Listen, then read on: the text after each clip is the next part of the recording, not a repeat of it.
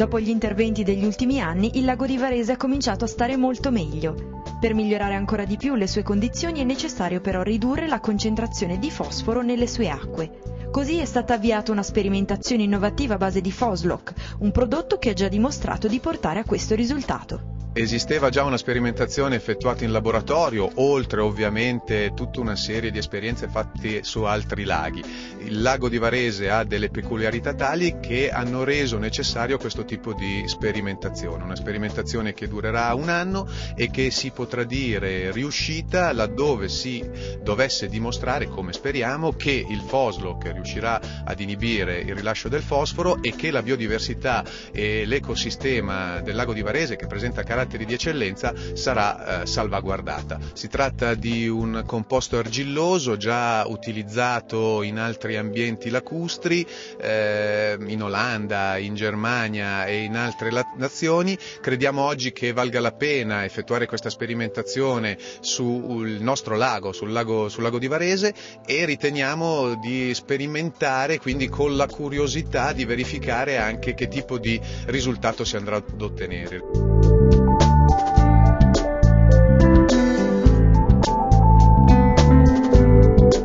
Costruiamo tre, tre mesocosmi,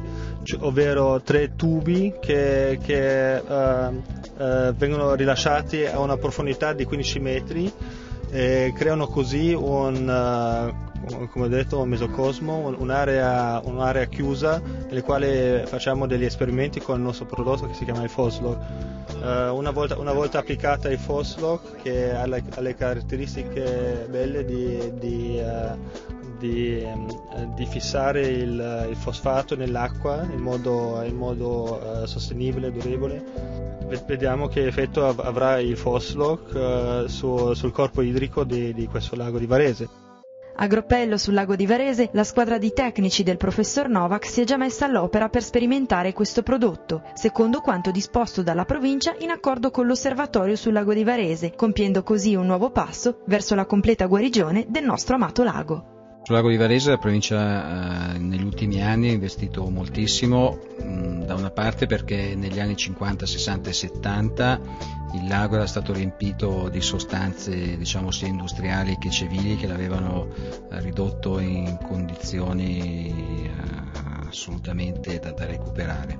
e da una parte poi perché dal punto di vista proprio dell'immagine, richiamo turismo, oltre che dell'affezione proprio dei cittadini, è uno dei riferimenti principali dell'intero territorio provinciale. Per cui negli anni sono state fatte le cose importanti, tipo tutto l'anello di fognatura che ha evitato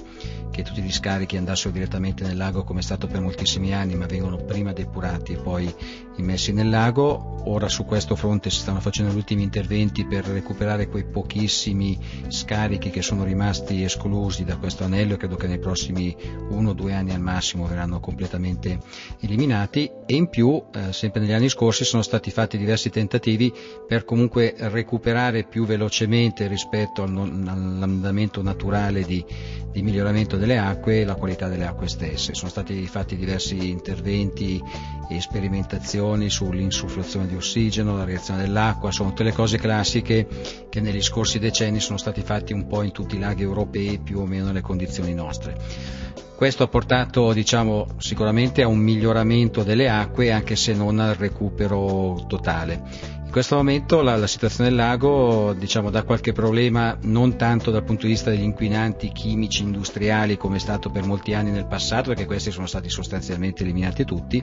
resta proprio il carico invece eh, biologico insomma, derivante dai vecchi scarichi civili più da quello che continua inevitabilmente ad entrare attraverso il dilavamento dei terreni agricoli con eventuali eh, concimi o fertilizzanti chimici eccetera che ha portato appunto ad un carico eh, proprio organico nell'acqua superiore a quanto dovrebbe essere. In questo senso si stanno qui eh, sperimentando una serie di interventi possibili, in particolare questo che sta partendo in questi giorni, con questa, questa sostanza praticamente in grado di praticamente bloccare il fosforo in eccesso presente nell'acqua, di trascinarlo sul fondo e poi di contribuire anche a migliorare la qualità del fondo proprio dal punto di vista del carico eh, del fosforo.